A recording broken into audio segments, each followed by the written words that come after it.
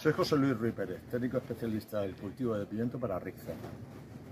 Estamos presentando la nueva variedad de California Rojo para ciclos tempranos, trasplantes desde abril hasta primeros días de julio en invernadero, Bayao, que muestra ser una planta con fácil cuajado en esas condiciones de máximo calor durante el verano, un calibre G, doble G, muy uniforme, con un color muy atractivo y ponemos a disposición la nueva nivel de resistencia oidio en estas nuevas variedades.